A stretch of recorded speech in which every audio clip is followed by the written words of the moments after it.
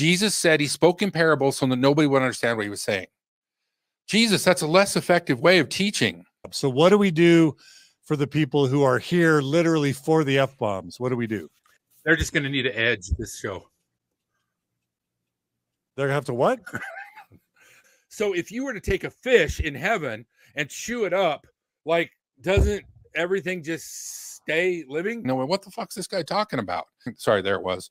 Speaking oh. of fading to black, John, tell us about the uh, emo, the emo thing going on. I, I will up my donation level if you wear guy liner next time.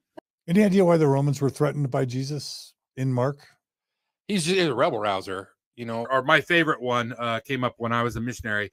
They talked about pulling hose, and you know that doesn't necessarily translate around the world when you talk about pulling hose or pulling pipe. I guess I my laying Idaho pipe and pulling.